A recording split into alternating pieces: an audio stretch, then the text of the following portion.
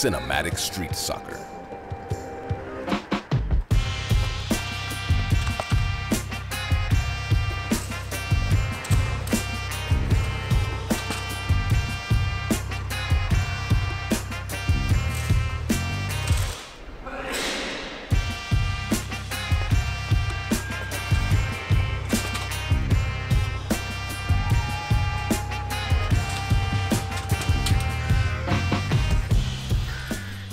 This trick will be divided into four steps.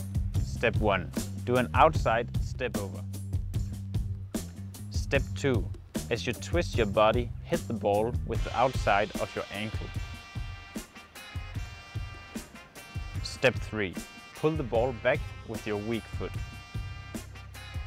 Step 4. Do an elastico behind your standing leg.